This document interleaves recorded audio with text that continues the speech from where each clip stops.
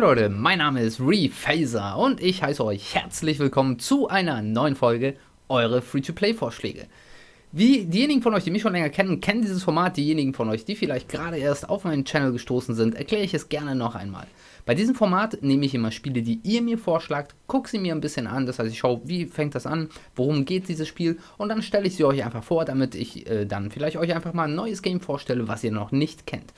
Wie gewohnt, wie könnt ihr mir Spiele vorschlagen? Nicht einfach in die Kommentare schreiben, ich habe dafür extra ein Formular angelegt. Heißt, unten in der Videobeschreibung findet ihr einen kleinen Link zu diesem Formular, dort könnt ihr alles eintragen. Die Liste, die ich dann ausgearbeitet bekomme von äh, Google, ähm, gehe ich dann nach und nach äh, durch und dann stelle ich nach und nach ein paar Games vor.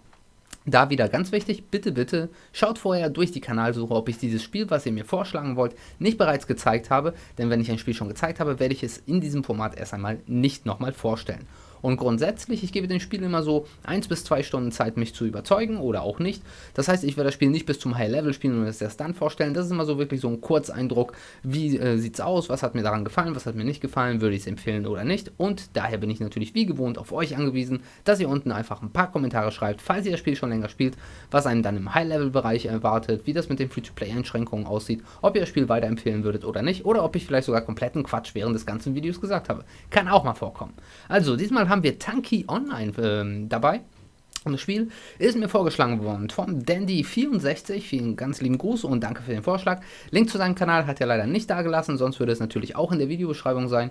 Und der hat mir geschrieben, warum soll ich mir das Game anschauen? Cooles Game, Fun, Free to Play. Das war's. Mehr hat er nicht geschrieben. Reicht auch vollkommen und ich habe mir das natürlich angeguckt. Ihr findet auch einen Link zu Tanky Online natürlich unten in der Videobeschreibung, denn es ist auch ein Browser-Game. Bedeutet, einmal Link klicken, kurz anmelden und schon könnt ihr das ganze Spiel spielen. Ähm, baut, glaube ich, auf die Unity. Ähm, Engine auf, die ganz oft für Browser-Games genutzt wird und sieht dementsprechend als Browser-Game jetzt nicht Bombe aus, aber danach geht man auch nicht mal. Nicht nur die Grafik ist wichtig, sondern viel vom Gameplay.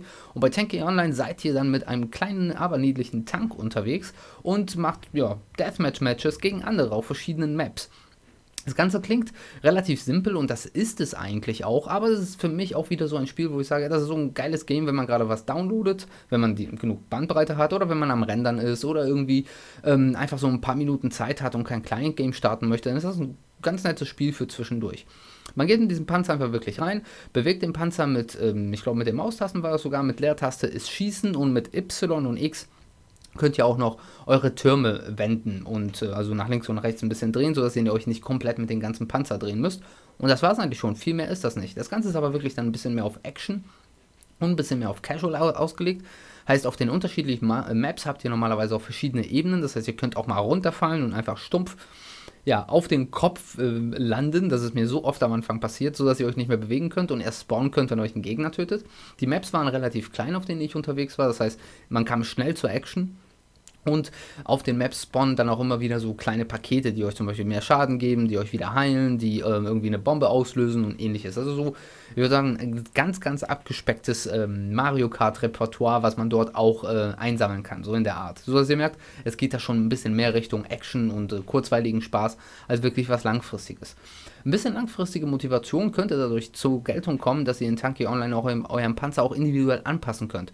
Über das Chassis, das heißt ähm, den unteren Teil des Panzers, ob ihr da irgendwie etwas ähm, robusteres habt, was ein bisschen langsamer ist oder etwas leichtes, was schneller ist. Ihr könnt auch die Türme durchtauschen, dass ihr von einem normalen einkanonigen Rohr wo ihr innerhalb von zwei Sekunden immer einen Schuss machen könnt. Dann ist ein bisschen Cooldown dazwischen über zwei Kanonen, wo ihr wirklich dann dauerhaft Beschuss macht.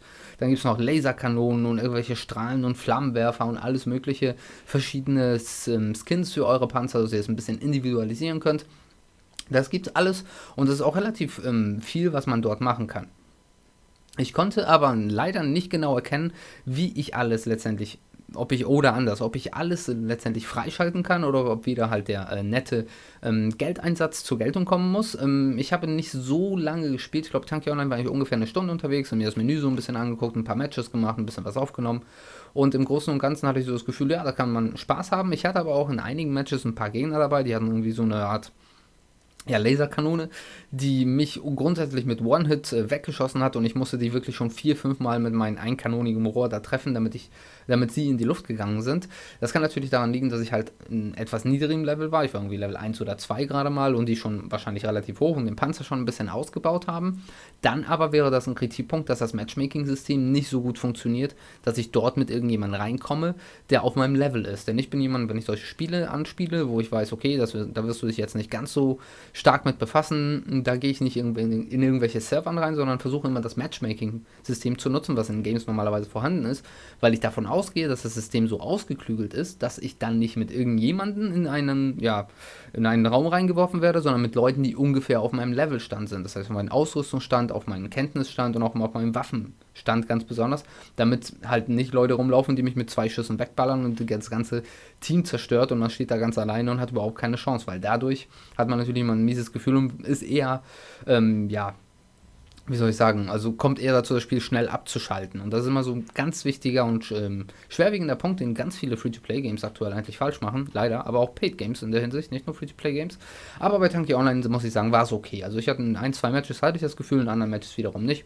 War ganz cool, aber wie ich sage, es ist eher etwas für zwischendurch. Was kurzfristiges, was Spaß machen kann, wenn ihr so eine Art abgespeckte World of Tanks Version haben wollt, wo ihr einfach auf dem Browser einfach euch einloggen könnt und ein paar Panzer wegschießen, dann ist es auf jeden Fall was für euch fürs langfristige Spielen und wirklich hochleveln und sammeln und ähm, total drin aufgehen, dafür ist dieses Spiel in meinen Augen nichts. Aber vielleicht ist ja einer von euch da draußen, der sagt, okay, ich spiele das schon wirklich äh, super lange und das macht richtig Spaß und auf dem High-Level erwartet dich dies und das und du kannst auch viel, viel, viel, viel, viel mehr machen.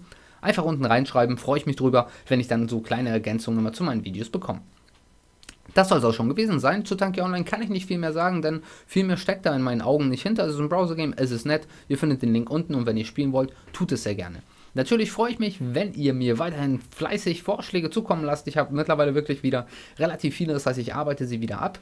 Ähm, Link findet ihr, wie schon gesagt, unten in der Videobeschreibung. Einfach das Formular ausfüllen. Ich finde es cool, dass es so funktioniert. So kann ich ein komplettes Format nur mit euch zusammen machen. Das heißt, es sind eure Sachen, die ihr sehen wollt. Und mir macht es Spaß, die Spiele runterzuladen, mir die Spiele anzuschauen und dann meine Meinung oder meinen Senf dazu abzugeben. Also Leute. Ich hoffe natürlich, wir sehen uns dann in meinem nächsten Video. Und bis dahin, ciao. Ich bin da mal raus.